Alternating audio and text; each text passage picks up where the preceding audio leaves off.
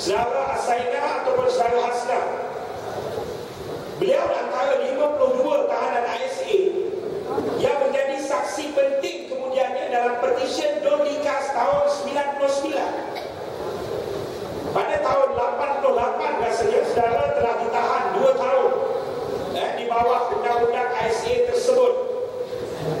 Saya persilakan dan kita ucapkan selamat datang kepada saudara Hasna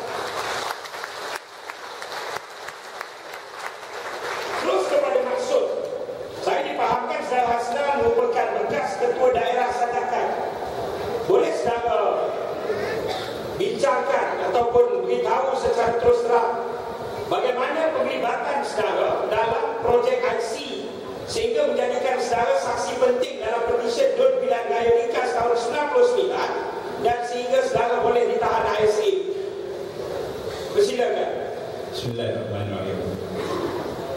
Assalamualaikum semua. Selamat berjumpa dengan rakan-rakan yang tidak seagama. Saya terus cerita di Sabah. Sabah merdeka pada tahun 1963. Kita tidak pernah ada pilihan raya apabila kita merdeka ataupun direct election. Pilihan raya yang pertama ialah pada tahun 1967. Kita Sabah ada 32 kursi, tidak silap saya, ya, Datuk Yahya. 32 kursi pada tahun 67. Kemudian meningkat kejumlah kursi ini pada tahun 76 kepada 48. Daripada 48 kawasan Dewan Undangan Negeri ini, 20 ya, 20 adalah kawasan yang majoriti orang Islam. 20 lagi adalah kawasan yang majoriti pengundi kadazan dusun dan buruk. 8 adalah kawasan majoriti Cina. Dalam pilihan raya ini, bila-bila saja pilihan raya ini, kemana kaum Cina swing, kaum itulah yang akan menang pilihan raya. Kalau dia pergi kepada Usno pada waktu itu, Usno menang.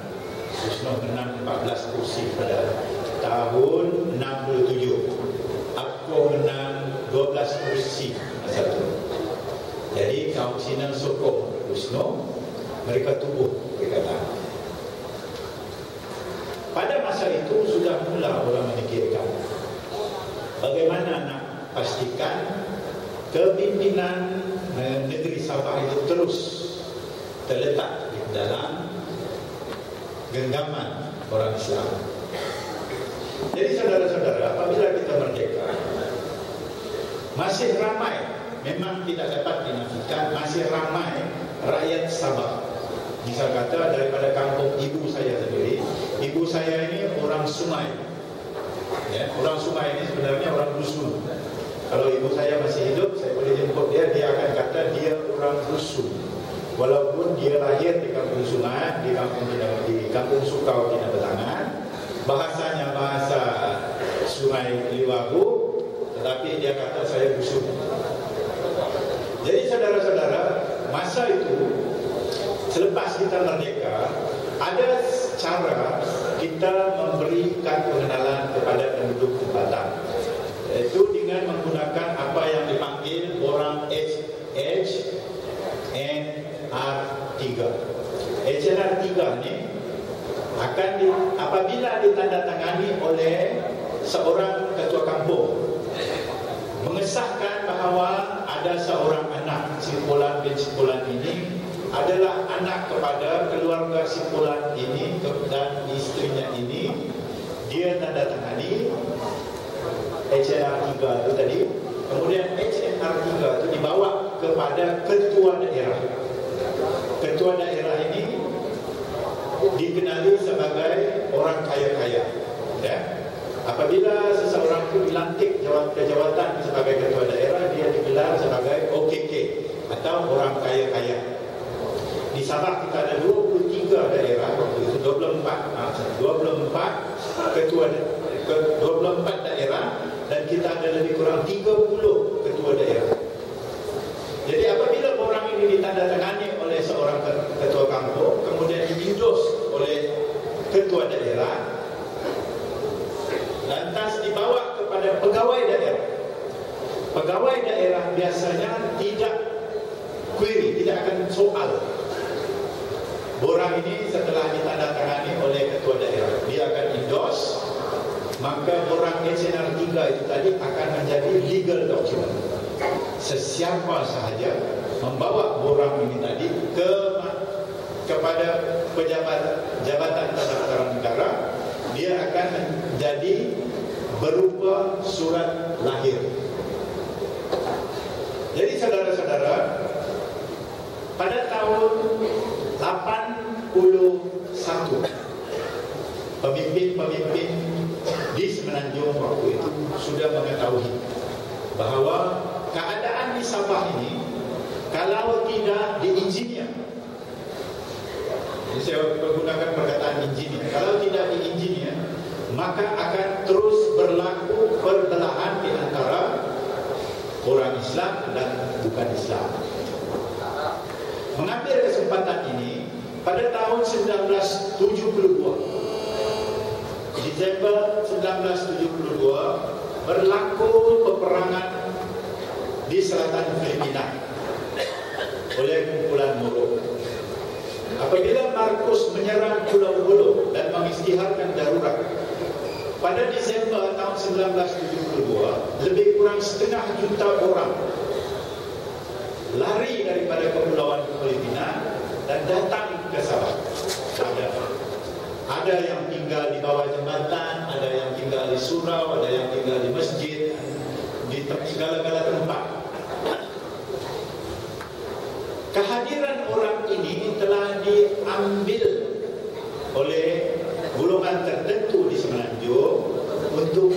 dijadikan penduduk negeri Sabah dengan menggunakan kaedah borang SNR 3 ini.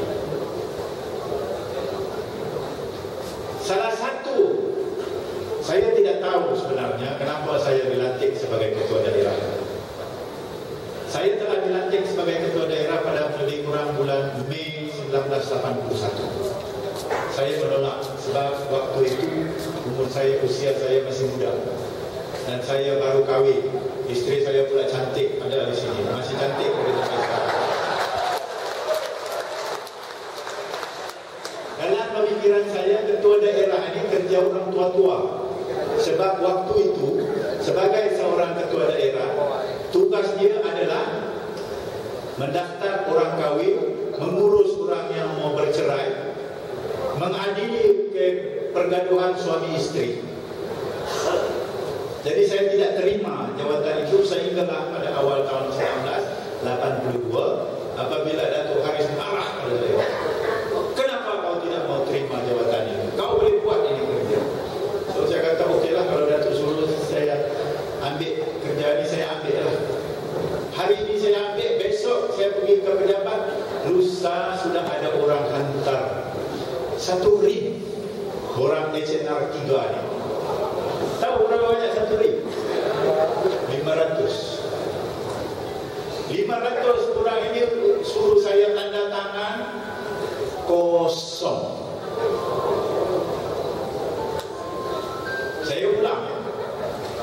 kalau ada SB-SB polis-polis di sini mau rakam silakan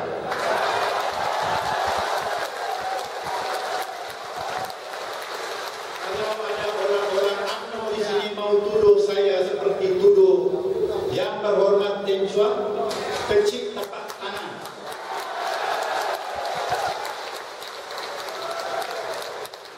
saya percaya saudara yang berhormat Teng Chuan ya Maknanya pada tahun 1981 lagi ya. Pada tahun 1981 lagi Proses pemberian warga negara secara tidak betul ini telah mula berlaku Benar Betul.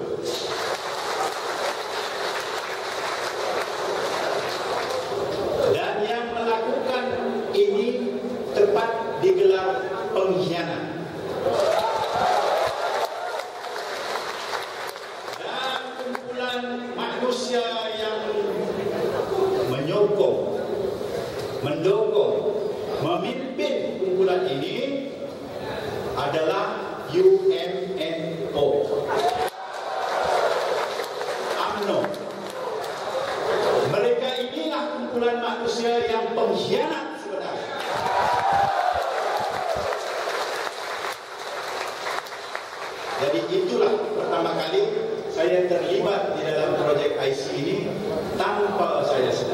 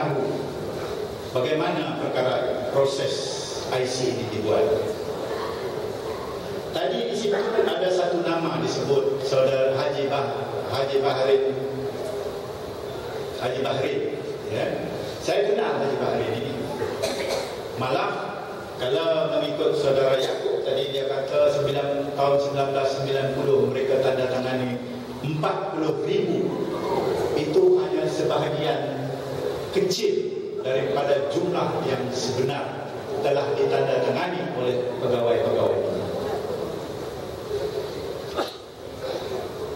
IC yang dikeluarkan pada tahun antara tahun 1989 sehingga 1984 apabila Parti Bersatu Rakyat Jalan Sabah tewas kepada PBS ya. parti berjaya memerintah daripada Julai April tahun 76 sehingga April tahun 84. Di antara 9 tahun ini jumlah kad pengenalan yang telah dikeluarkan oleh kerajaan persekutuan kepada sebilangan besar pendatang haram tidak kurang 108 125 ribu. Sekali lagi 108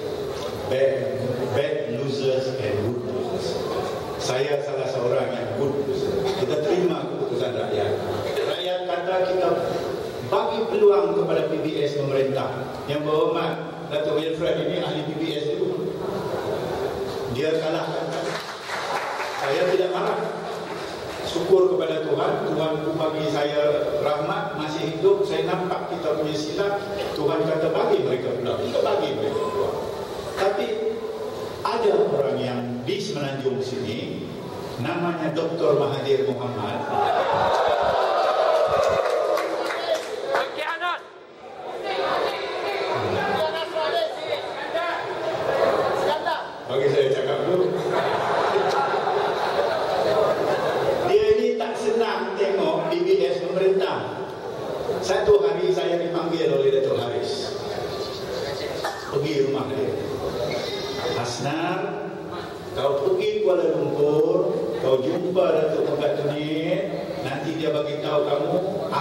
kerja yang patut perempuan Saya ikutlah cakap dia Datuk Haris Bekas Ketua Menteri sama. Siapa Megat unit pada Dato' Sri Megat unit, Megat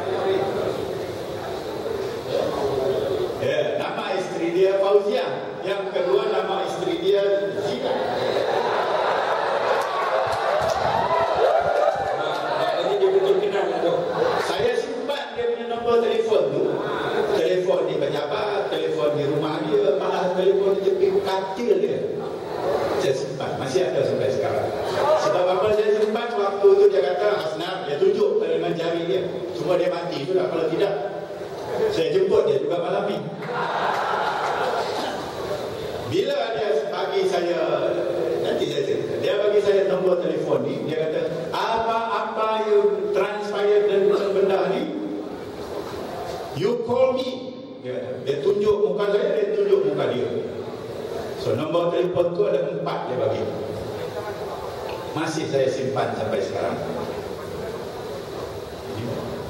Okey, jadi uh, persoalan dia sekarang mana memang berlaku pertemuan dan dia diuruskan semua operasi kebenaran ini diuruskan oleh Megat Jonet sendiri dan di dalam pengetahuan Dr. Mahathir. Apabila saya berjumpa dengan Datuk Seri Megat dia telah arah saya satu panggil pengarah-pengarah Jabatan Pendaftaran Negara Kota Kinabalu dan juga pengarah Jabatan Immigration Negeri Sabah. Waktu itu Dosmi Ibrahim, pengarah Jabatan Pendaftaran Negara waktu itu saudara arwah arwah dia ini dia ini dia tak setuju. Bila saya jumpa dia, saya bagi dia tiket, jemput dia datang Kuala Lumpur atas arahan Datuk Seri Bukan Dunia. Apa dia buat?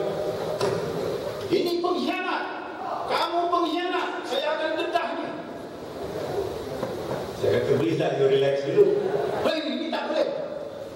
Saya mau jadi berlakon sikit lah ya.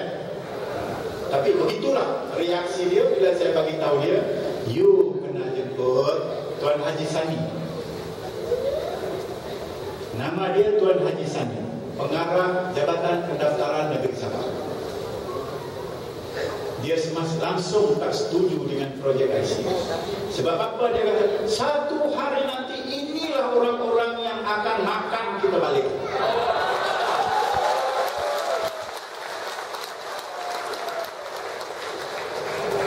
Saya harap saudara-saudara rakam percakapan saya ini dan kirim satu kopi kepada Mahathir.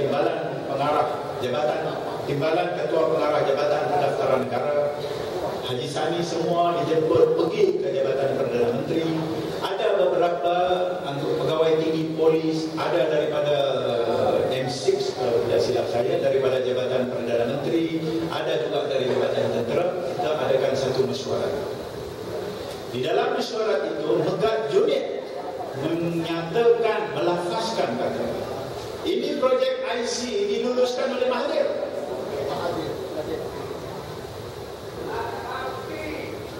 Saya ulang ya. Umur saya sudah 62 tahun tapi masih handsome lah.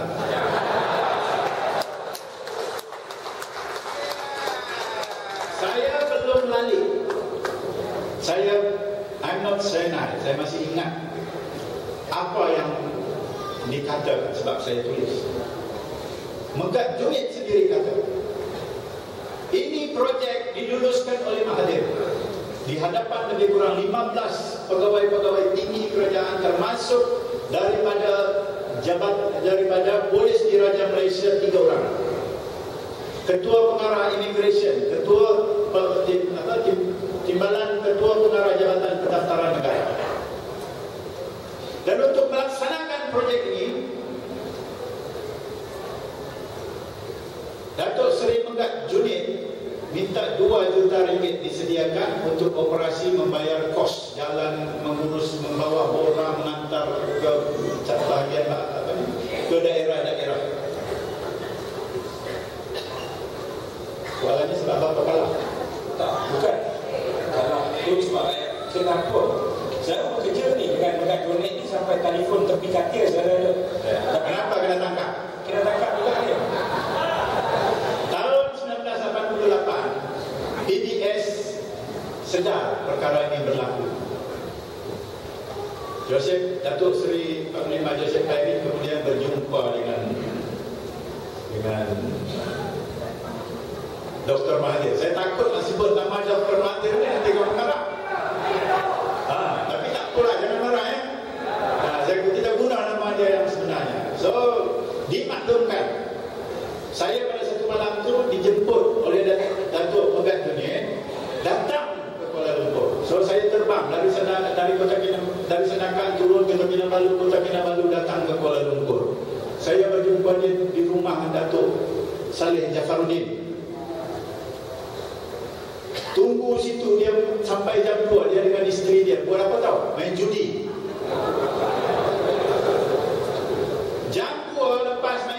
baru dia panggil saya ke tepi satu sudut rumah tu dia kata Hasna you tell Dato' Haris bagi tahu kawan-kawan kita salah satu syarat yang dia minta put you in jail salah satu syarat Joseph Pairi minta letak saya dalam penjara jadi Tan Sri Megat Jonik yang sedara dia nombor telefon tepi katil dia pun tadi membenarkan penangkapan sedara di bawah ISA. Tak. So saya pulang. Saya pulang, saya bagi tahu Ketua Haris. Ini kata Megat Jonik. Megat Jonik kata, nak berhentikan ni semua, tolong bagi tahu kawan-kawan semua, ni dulu, Lailo. Sebab ada perundingan di antara PBS mau menyertai semula barisan nasional. So jangan buat benda ni, jangan kacau. Datuk hari biasa lah. Bunuh punya menteri oleh koordinator dalam negeri. Kalau dia mau tangkap, dia mau kasih anu sama kau. Kau pergi tempat dia, antar ni orang. Puk. Minggu kemudian, saya bawa lebih kurang 15 ribu orang. Bagi pada pegawai dia, keluar daripada jabatan jabatan Perdana Menteri masa itu di belakang Bank Negara keluar daripada bab pejabat dia petang tu saya pergi ke airport di airport dicetuk lepas dari airport masuk ISA 59 hari apabila saya dibebaskan mereka tak apa-apa kan saya. Tak adalah kata kamu saya diseksa dipukul tidak ada. Ya? Saya tidak diseksa tapi bila ada perbincangan jurang nak gertak saya gertak balik. Saya kata kepada polis-polis ni semua kalau kamu fikir saya ada lakukan apa-apa kesalahan kepada negara ini kepada bangsa Melayu kepada agama Islam kamu bawa saya sekarang juga ke mahkamah kita bicara. Kalau saya salah penjaralah seberapa lama suka hati kamu? Saya ikut. Okay, baik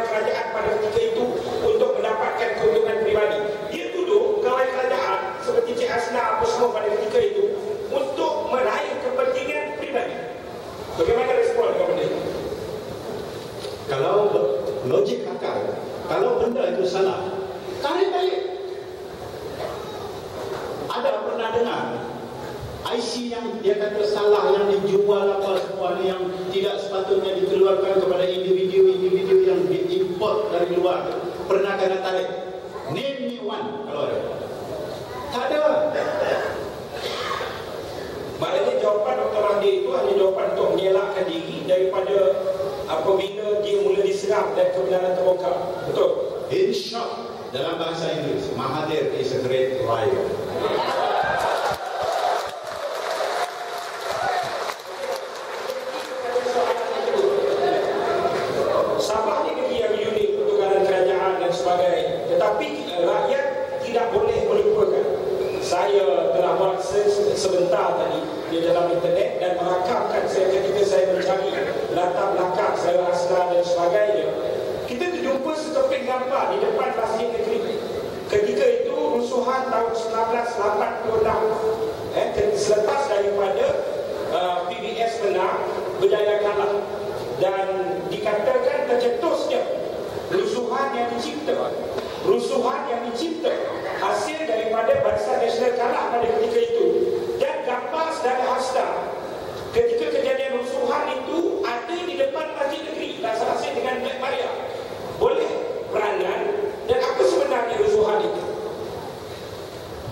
Persoalan itu ada sekarang ini dirakam oleh Ilina Lydia. Saudara-saudara saya persilakan rujuk buka internet siapa yang ada internet. You tengok video atas tajuk The Silent Riot. The Silent Riot ini ya rusuhan tersembunyi. The Silent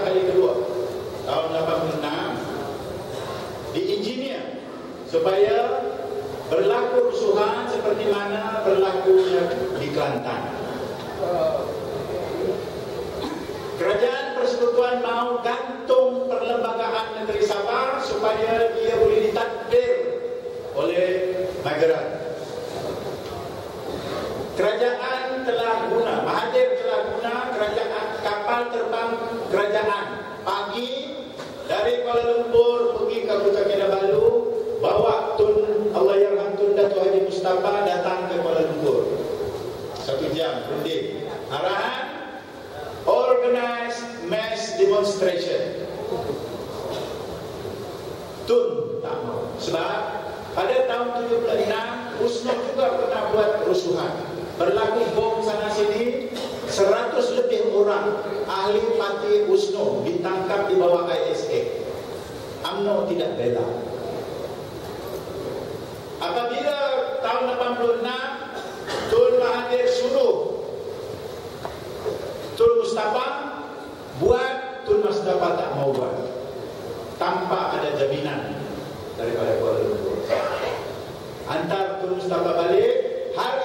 sama Datuk Haris dibawa oleh kapal terbang yang sama datang ke Kuala Lumpur arahan yang serupa. Tiga orang yang dipanggil. Tun, Datuk Haris dan Datuk Haji Muhammad Norman Haji Mansur. Iaitu penasihat parti SAPP sekarang. Arahan dia suruh adakan mass demonstration. Kalau boleh dia ada yang mati seorang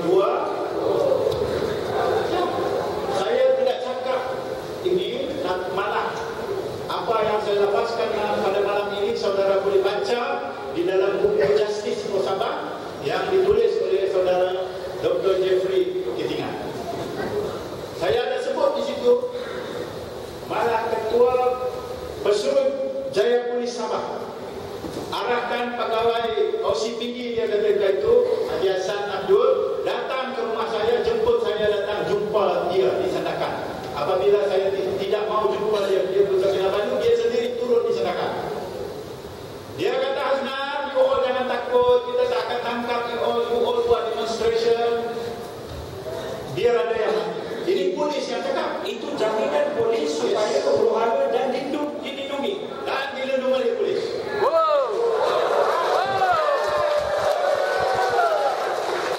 apa benda yang paling dalam itu satu operasi yang saya rasa kita kita akan buat satu sesi yang lebih panjang lagi namun apa benda yang paling tak dilupa yang menjadi igawan sehingga hari ini oh, yang berkaitan dengan rusuhan 1986 itu yang harus disampaikan kepada pengetahuan anak-anak di Semenanjung Pertama yang saya kesali Mereka kata kalau ada seorang dua mati Mereka akan gantung perlembagaan Waktu itu lima orang mati Joseph Airi jumpa Jangan marah ya Dr. Mahathir Muhammad Yang lima mati ini tak ada jadi apa Mati Mati kata. Mati katak kah, mati kerbau kah, mati buaya kah, tak tahu Ayo. Itu saya sedih. Ada hantu di dalam UMNO ini pasang bom. Rakyat Sabah. Rakyat kulit Sabah tak pandai pasang bom. Jadi siapa pasang bom tu kena tanya Dr. Mahathir lah. Itu yang saya tak boleh lupa sampai sekarang. Okey baik, saya rasa Okey, silakan. Yang kedua, mereka suruh kita berdemonstrasi. Kemudian mereka tangkap. 1,200 orang kalau tidak silap saya ditangkap pada waktu itu. Termasuk Datuk Haris Muhammad Saleh. Apabila semua ditangkap, semua dibawa ke mahkamah. Semua didenda 100, 100, 100, 100. Kecuali Datuk Haris tak mau. You nak kita lawan. Jadi dalam semua yang kena tangkap tu hanya satu tidak didakwa Datuk Haris. Sebab Datuk Haris cabar polis, you bawa saya pergi mahkamah, saya dedak. Sampai sekarang Datuk Haris seorang saja yang tidak didakwa. Ini dua perkara yang saya masih ingat. Dan saya harap apa yang kita bincangkan malam ini, polis-polis yang jadi barwa